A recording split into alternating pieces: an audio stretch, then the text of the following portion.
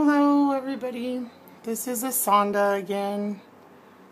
This is my first 3D buttercream cake. Yeah, I tried to do some fondant here. I was not successful.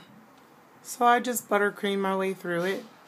Both teams, New England and New York. Um, anyways, it's just three layers of cake underneath, red velvet pipe some stars down for some grass, and there you have it. So, I don't know if anybody have any suggestions or tips of how to do this with fondant, but I couldn't, I couldn't do it with fondant.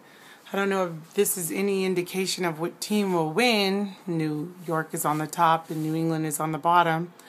However, they're not the 49ers, so I guess I really don't care. And according to my husband, they're not the Raiders, so this is a game that we're really not rooting for anyone. We're just in spirit. My mother-in-law is having a Super Bowl party, and we made these cakes for her.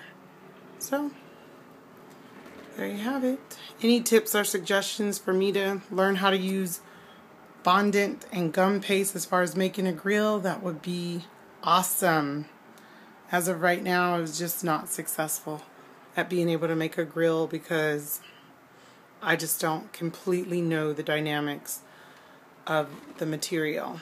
So I was not able to pull that off.